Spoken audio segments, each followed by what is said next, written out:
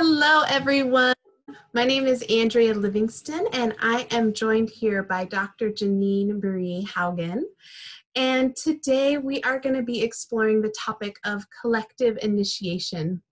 So, of course, we are right in the middle of the COVID 19 pandemic, and Geneen has been putting out some writing about this historic time we're living through um, that we're going to have a chance to discuss.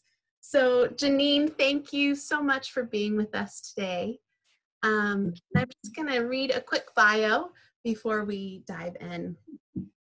So, Dr. Geneen Marie Haugen is a guide to the experiential, intertwined mysteries of nature and psyche with the Animas Valley Institute and is on the faculty of Esalen Institute, Schumacher College, and Fox Institute for Creation Spirituality. Um, she is an amazing writer, and her writing has appeared in many publications, including Spiritual Ecology, The Cry of the Earth, Thomas Berry, Dreamer of the Earth, Parabola, and others. So, thank you again, Geneen, um, for being here with us. And as I mentioned, you've been writing about what we're going through right now with this global pandemic as a um, possible collective initiation. And I just want to read a little snippet from your writing, and then I would love for you to comment on that.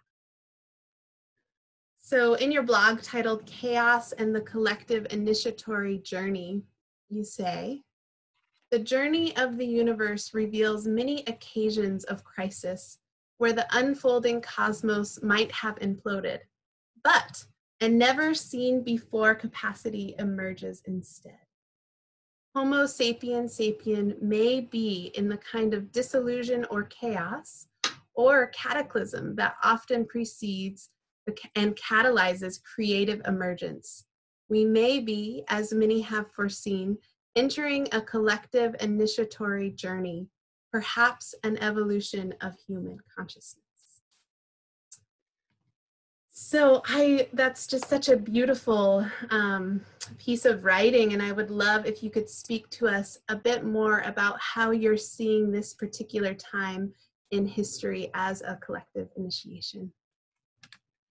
Thank you. Thank you for a wonderful um, phrasing, Andrea. A beautiful way of turning that into a question. Um, yeah, this time is so immense in the sense that everyone, all the human beings are affected. And it seems that this is the first time that we know of where there's something that has affected every country, every community, every village, uh, although perhaps there are um, places where it's not in the awareness like it is with us in the West. And, uh, but nobody is immune from this. And so it has turned all of our thoughts in a similar direction.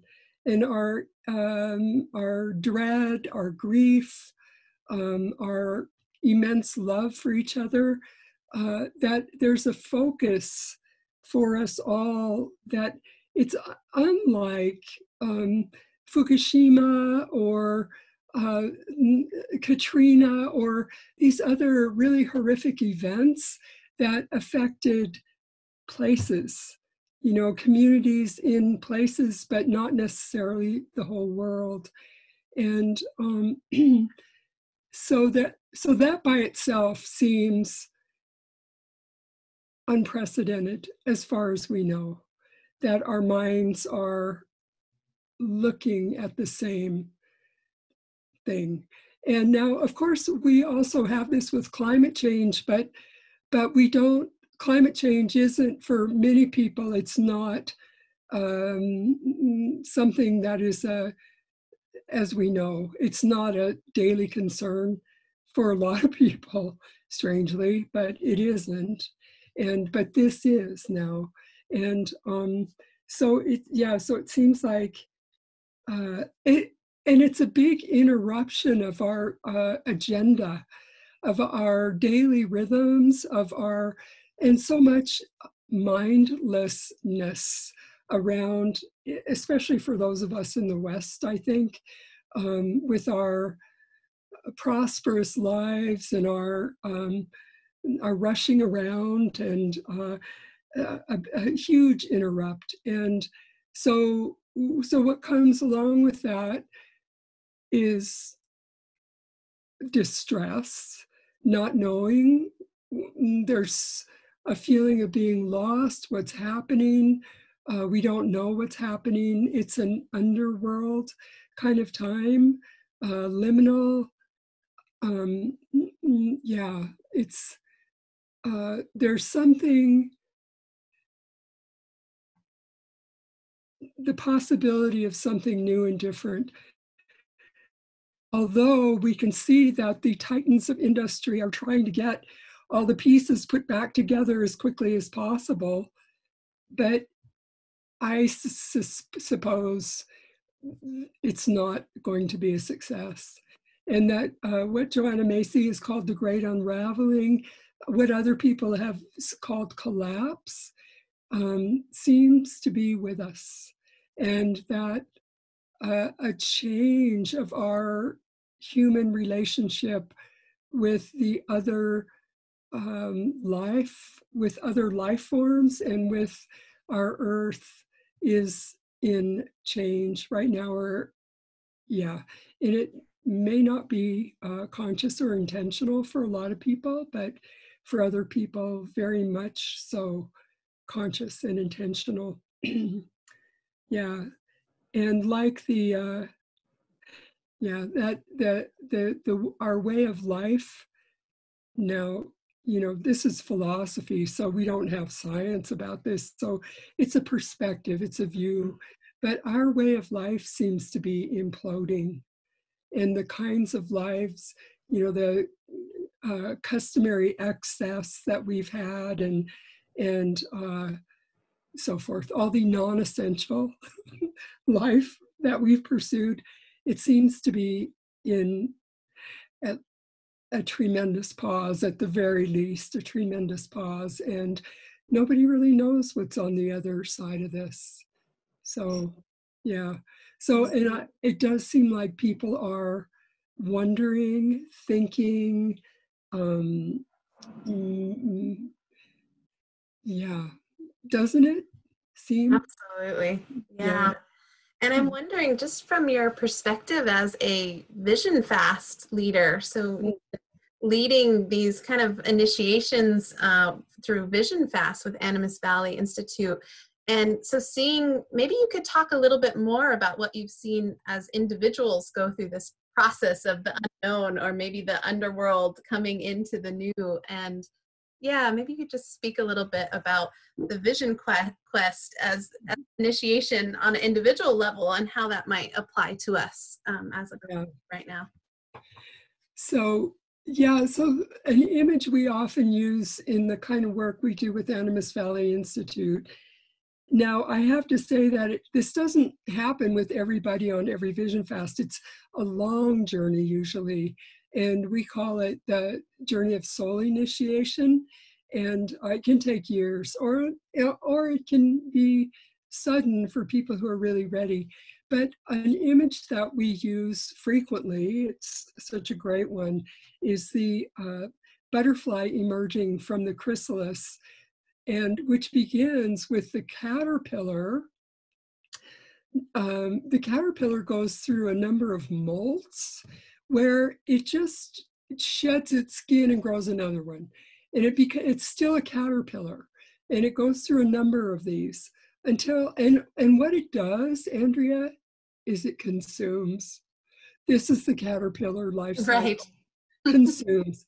And then at some point, the caterpillar, this changes, and the caterpillar um, weaves itself a cocoon or a chrysalis. If it's a moth or a butterfly, it's slightly different. But and uh, and in that chrysalis or cocoon, that creature, caterpillar creature, completely dissolves, dissolves.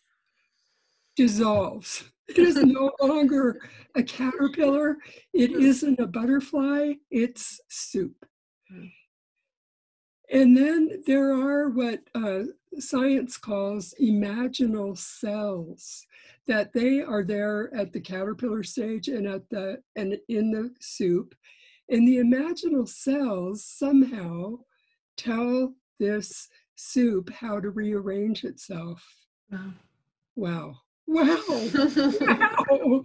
And these imaginal cells, as if the cells contain the image of the butterfly. And then this, so this new creature forms from that soup. And then when it's time, the creature emerges from the chrysalis. And it's a completely different kind of creature. Yeah. Yeah. Yeah. Isn't that wonderful? It's beautiful. And mm-hmm. just thinking about, you know, the total unknown. It's not it's not the caterpillar and it's not yet the butterfly. It's and yeah. of that it's even a scientific term, the imaginal cells, the imagining of the new future together. Yeah. Yeah. And that so it seems like we might be in a kind of time like that collectively uh, in the soup, so to speak. We don't really know what is on the other side of that, you know, our chrysalis moment or our liminal time. But something seems to be breaking down. And um, yeah, so so we use that image for our individuals in the vision fast and but it does seem to be um, applicable to our culture now as well yeah mm-hmm. yeah and i know mm-hmm. one thing that um, you do at animas valley institute too is connect people to the earth in different ways as they're going through this um, initiation or in through this this butterfly into the, the chrysalis um, and in one of your other articles you also wrote about us cultivating our human relationship with the dreaming earth. And mm-hmm. that's still very possible during this shelter in place, even if you're in the middle of cities um, or no matter where you are.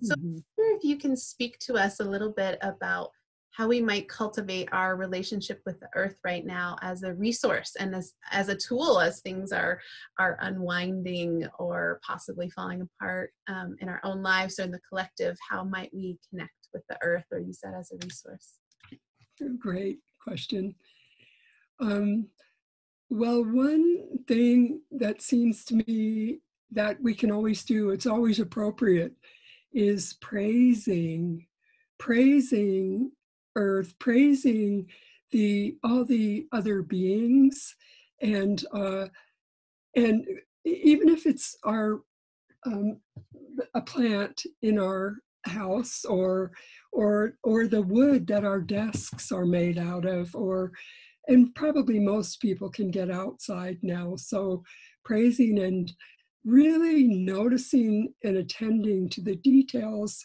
of these other beings so we can praise in specificity and really honoring and letting the world know that we see and we hear and we feel these other ones. And one of the um, un- anticipated effects of this maybe is that it changes consciousness. It's a consciousness altering tool. And we might go into it purposefully, you know, like, oh, now I'm going to go out and I'm going to do some praising, but to uh, really let ourselves ride that wave, um, it changes perception and it changes our focus, our attention, and the world and the relation, our intimacy with the world is awakened in some way um, by this praising. And also, it can bring us to the edge of grief in our grief cry for the world. And, and that also is a way, as like with Joanna Macy's work, you know, to that we're, it's a way that we share the grief uh, of the world. We share the grief grief with other people. We share the grief of the earth itself, and um, hearing that what Thich Nhat Hanh calls the cry of the earth. And um, so these are ways of cultivating our intimacy and without expecting or wanting something for ourselves, but to really be offering our bundles of, of praise and beauty to the others.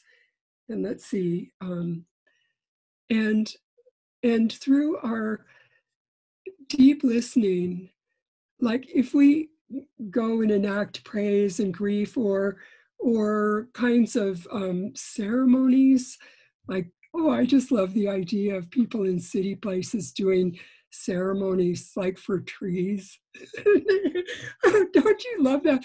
Like that you you could be walking through a park and seeing somebody you know like offering water to the trees or something like that.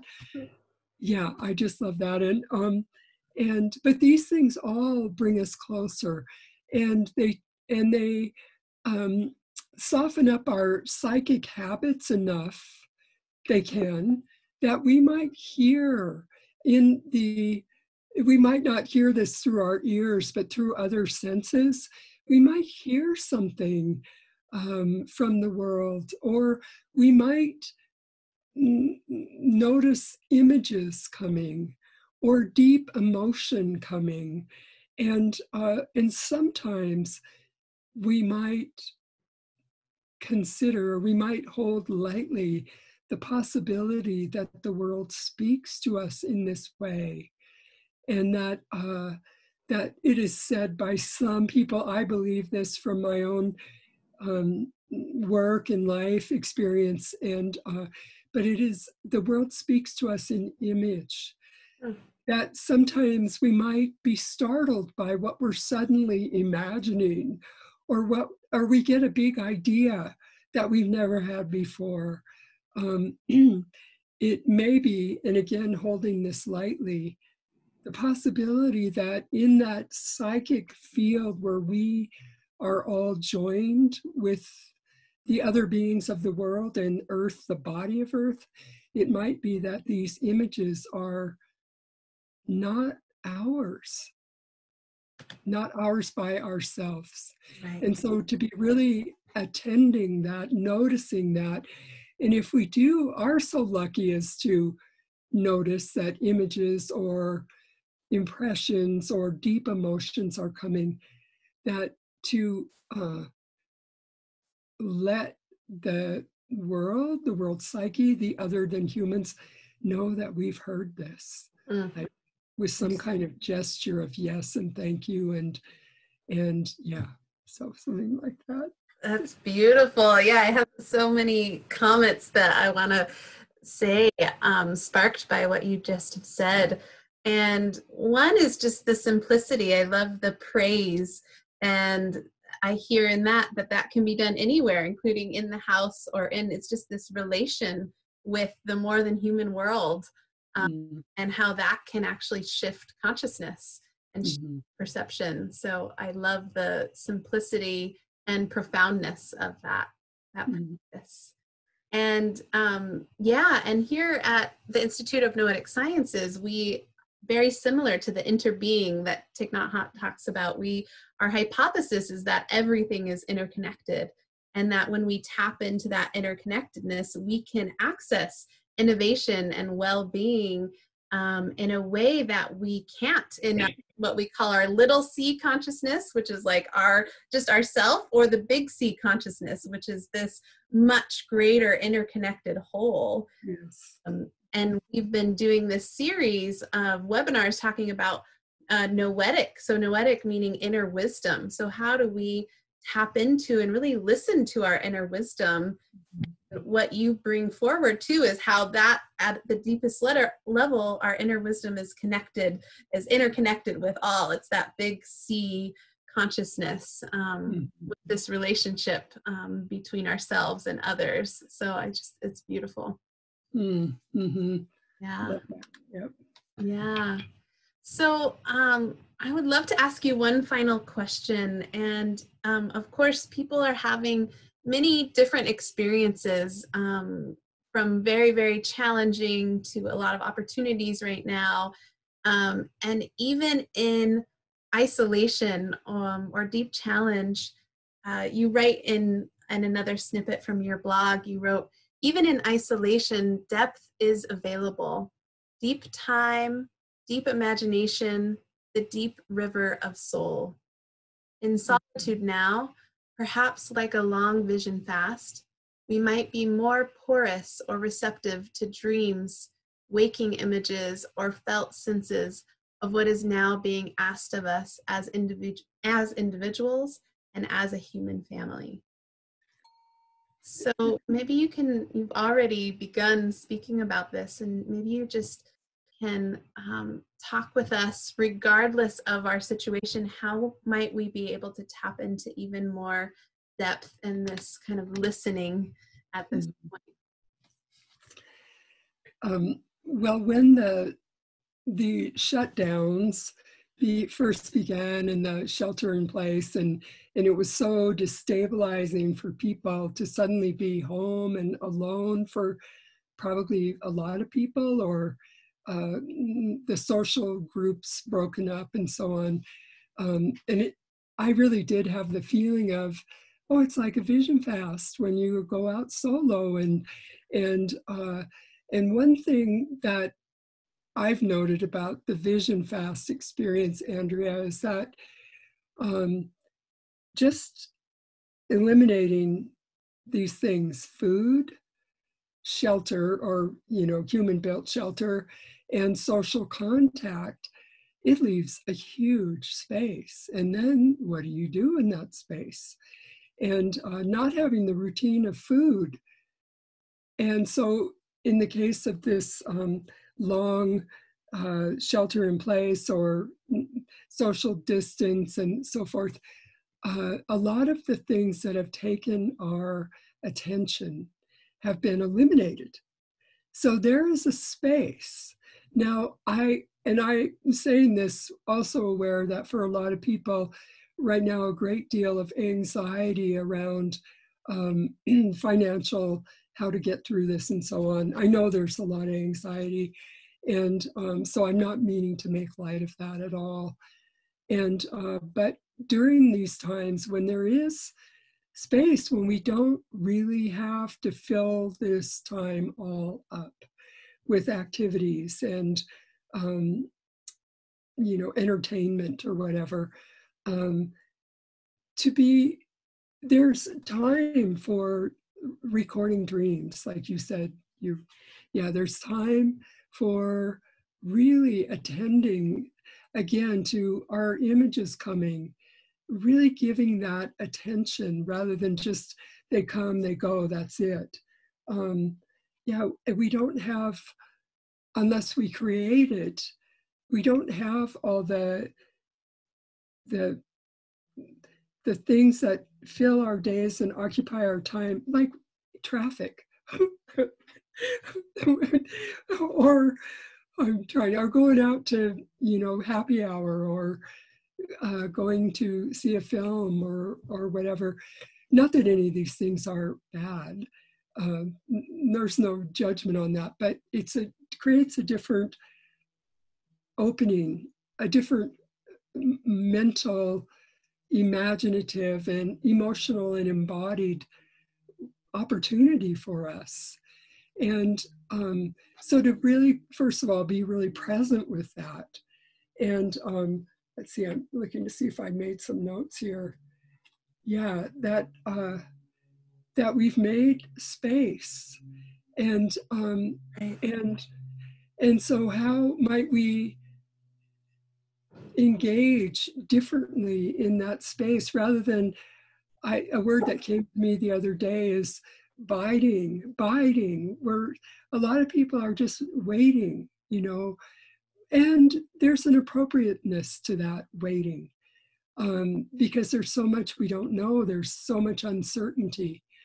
But, but, and in, in addition to waiting, um, are there ways that we, we might want to practice different relationship with the earth now different relationship with our loved ones, even if we can't be with them, different uh, relationship with dreams, with um, with our what we're imagining, different relationship with the kinds of things that we read or the the input that we have, um, and to be mindful of that because this time will change.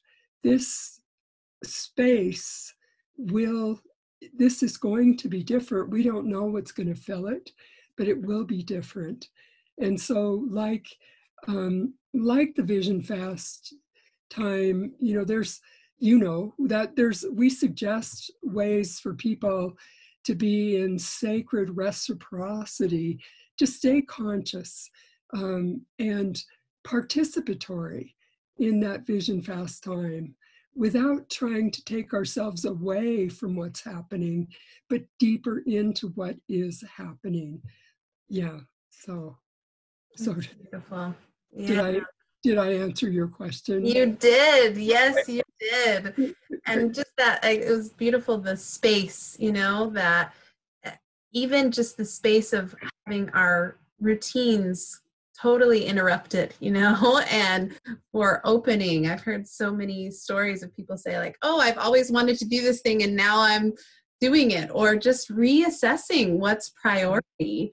Um, yeah. And also how we connect to the noetic, to the inner world, to the dream world, to the earth. Like you said, I think it's um, just in this point of immense possibility. Yes. Um, and like you also mentioned grief, you know, it's like the wholeness of of what's happening or what might arise for people at this time. Mm-hmm. And yeah. I have one final bonus question for you. not not pre-planned, um, but is there something that you found with your experience of working with individuals um, that helps them to integrate or move forward with an initiation maybe after they have a powerful vision or a dream? Is there something that you found of how people can work with that that has been successful for you?